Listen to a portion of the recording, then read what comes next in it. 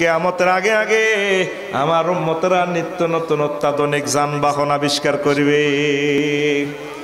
তারা মসজিদের দুয়ার পর্যন্ত পার্কিং দিয়ে চলিয়ে গাড়ি লই। হুজুরে কেমনে জানে রিক্সার ভিসি দিয়ে মোটর লাগাই, রিক্সা চালাইব অটো চালাইব, বিমান রকেট অত্যাধুনিক যানবাহন বানাইব।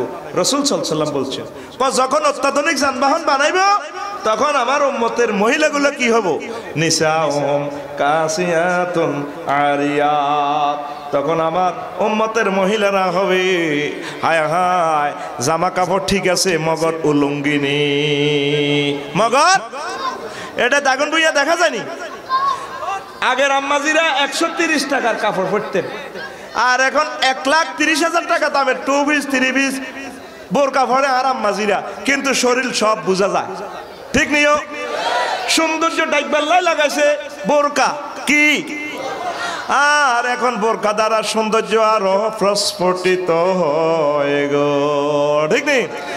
ফ্যাট, বুক ফিট সব বোঝা যায়।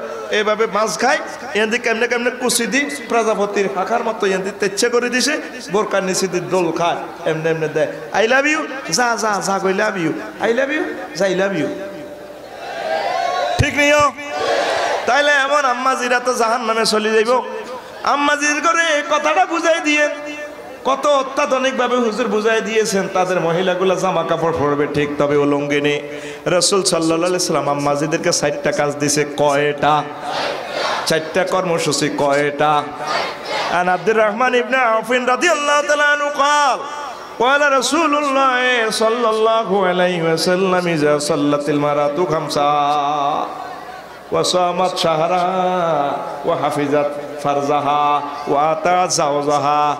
قيل لها قيل لها ادخلي من أي أبواب الجنة. شئت شئت شئت.